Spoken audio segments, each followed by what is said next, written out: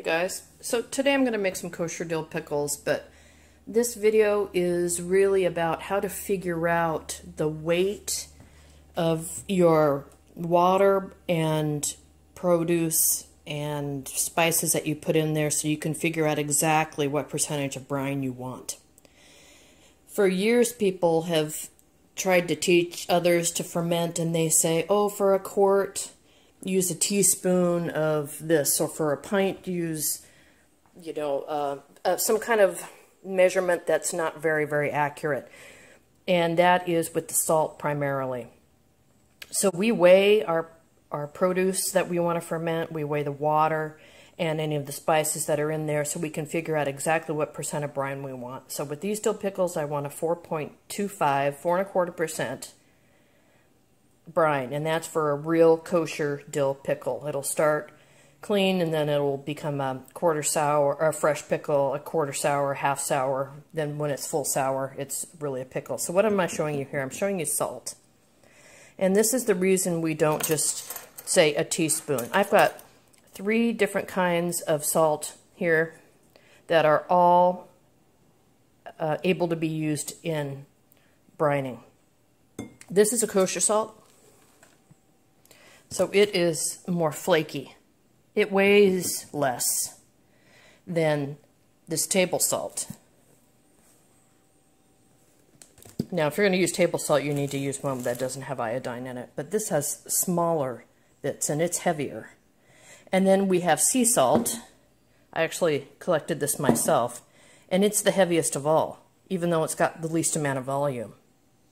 So you can see if I say use a teaspoon of salt, depending on which salt I choose, I could be at a 3% brine, I could be at a 5% brine, and I think that's why some people are failing. That and the fact that they don't know how to measure, how to figure out the volume, right? It's science. This isn't just an art, it's also a science. So what we do is very simple. You get your vessel. This is, I don't know, half gallon, half gallon jug and I'm going to put it on the scale and zero it out. And then what I'm going to do is um, I'm going to layer some garlic in there, and then I'm going to clean my cucumbers and put them in there. These are gigantic cucumbers, um, so they will take a long time. Some of them won't. These will go at the top, but, you know, it's near the end of the season, and this is more about how to measure and less about uh, making the kosher dill pickle, although I will send put a link down there below so you can see the exact steps. So anyway, I'm going to get to cleaning and smashing, and we'll come back in a sec.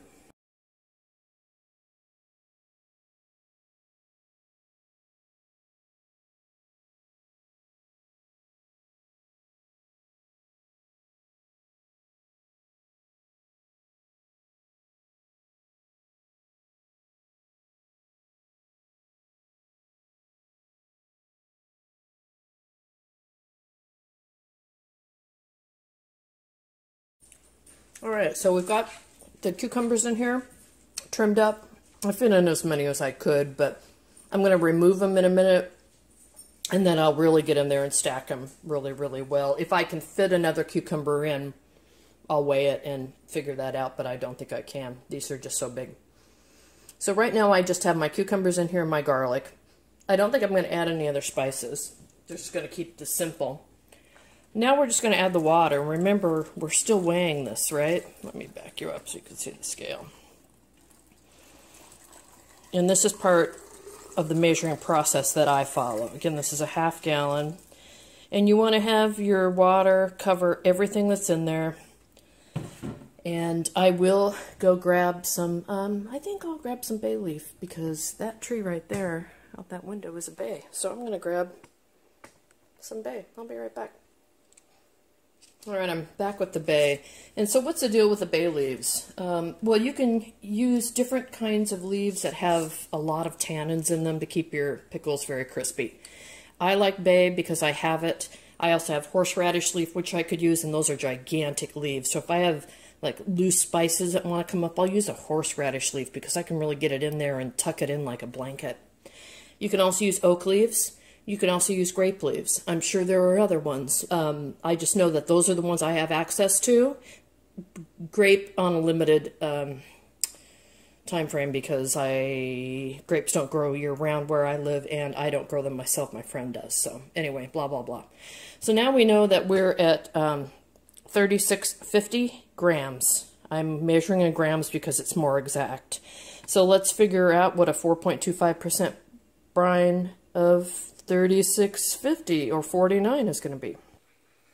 All right, so here we are, 3649 times 4.25% equals 155 grams. So I need 155 grams of salt to put into that container. Now remember, when I put this container on there, I tared it out, which meant I removed the weight of the uh, container itself. So the glass isn't being measured. What's being measured is the cucumber, the bay leaf, the garlic, and the water. So now I'm going to remove that water. I prefer to do it this way because I think I get the salt mixed in better. Some people will just add the salt directly to this container. I don't like it. I don't think it works as well.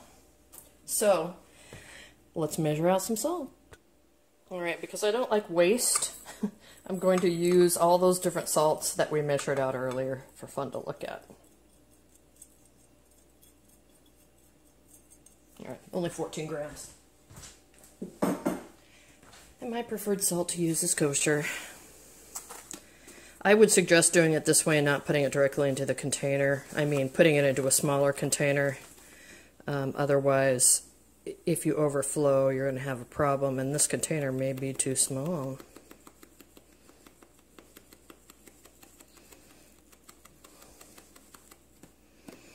Stop for a second.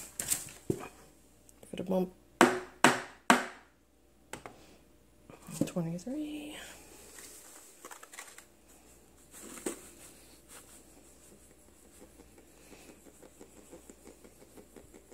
Almost perfect. All right, 156. That's good enough for the government. So I have the water that was in there before. I'm taking my salt and I'm dumping it in. Remove this. All right, I just happen to have this near me. I'm going to go ahead and give it a waggle back and forth.